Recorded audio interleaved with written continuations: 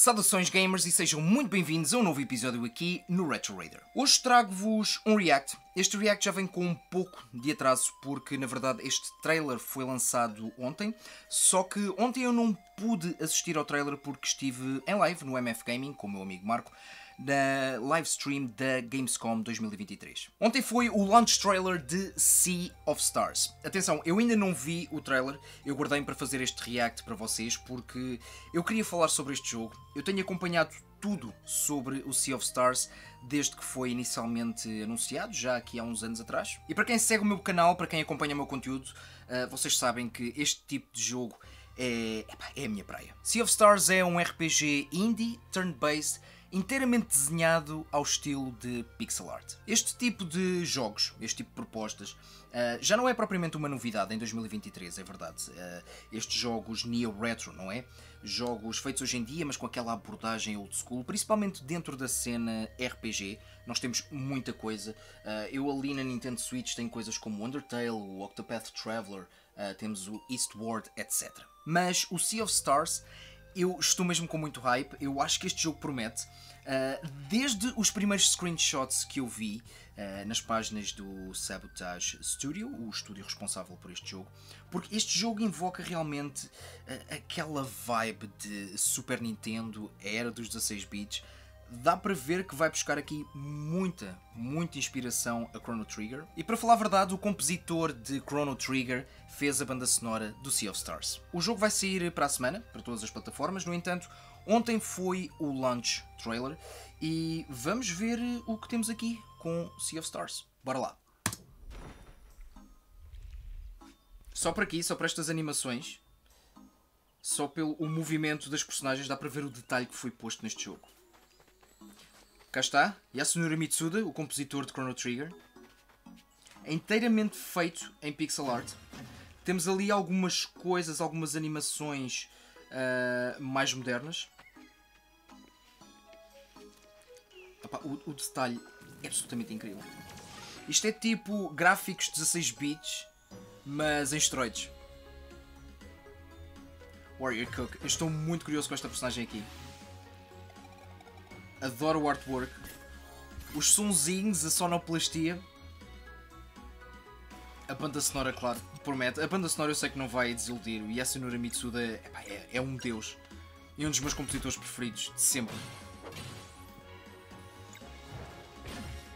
Yeah, eu já vi a maior parte destas, destas imagens, porque eles têm lançado assim, pequenos uh, aperitivos.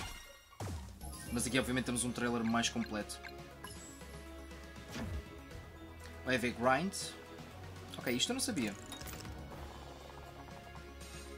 Será que vai ter aquele elemento open world? Eu tenho saudades disto, tenho saudades de jogos. Eu vou dizer mais simples em termos de apresentação, principalmente em RPGs. O facto de ser turn-based, que é algo que hoje em dia só vimos em, em jogos indie ou em RPGs indie. Ok, isto está brutal. Ok, isto eu não tinha visto. Cá está. Sea of Stars. 29 de Agosto, portanto, yeah, todas as plataformas. Epá, uh... Estou mesmo muito curioso para isto. Então, em relação ao trailer, uh, eu já tinha visto a maior parte desta footage. Obviamente que houve aqui algumas novidades, porque o estúdio Sabotage eles têm feito um trabalho incrível a nível de divulgação, a nível de comunicação para com uh, os gamers, para com uh, os futuros fãs de Sea of Stars. Mas realmente aqui conseguimos ver o jogo a nível de performance inteiramente feito em pixel art pareceu-me haver ali algumas partículas, ali alguns elementos uh, assim mais, uh, vou chamar renderizados, talvez com, com o uso de engines mais modernos, obviamente. Mas em termos da parte gráfica, animação, o que temos aqui é um pixel art epá, perfeito. Gosto do design das personagens, gosto do artwork.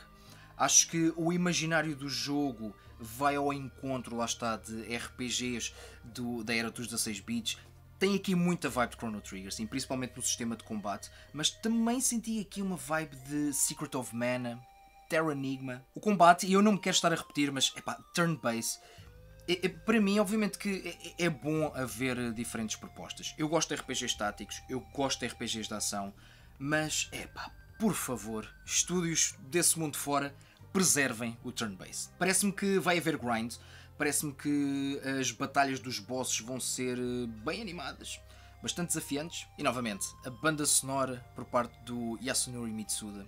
Epá, muitos, muitos parabéns e props ao Sabotage Studios por terem conseguido contratar esta lenda da música dos videojogos. Tenho aqui uns dados importantes a dar, malta, principalmente para o pessoal de PlayStation. O jogo vai estar disponível no PS Plus para quem tem o pacote extra e o premium. Portanto, sim, vai fazer parte do catálogo do PS Plus, inteiramente gratuito. Dia 29 vocês vão poder jogar o Sea of Stars. Para o pessoal como eu, que ainda compra jogos em formato físico, o jogo vai ter lançamento físico, é verdade, para Xbox Series, PlayStation 5 e Nintendo Switch por parte da IM 8-bit. Já confirmaram que, em parceria com o Sabotage Studios, vão lançar Sea of Stars em formato físico para as consolas. Portanto, eu acho que isto é um jogo para toda a gente.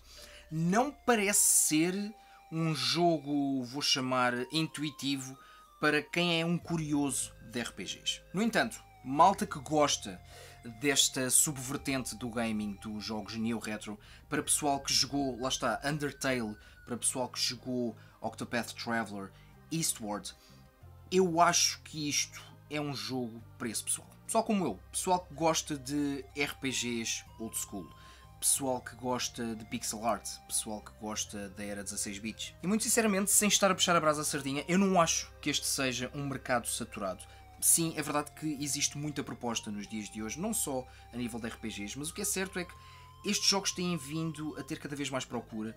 Uh, sucesso atrás de sucesso, alguns já viraram franchise. Portanto, contem com uma review aqui no Retro Raider. Eu estou muito ansioso, estou com muito hype para jogar este jogo e desejo tudo bom para o Sea of Stars. Malta, digam aí embaixo se vocês gostam deste tipo de jogos indie, digam se vocês gostam da era dos 16 bits, dos RPGs old school e digam quais as vossas primeiras impressões e expectativas para com o Sea of Stars. Sigam-me nas redes sociais, malta, eu ando pelo Facebook, Twitter, Instagram e também faço vídeos para o TikTok todos os dias. Vemos no próximo vídeo, até lá malta, já sabem, divirtam-se e joguem muito.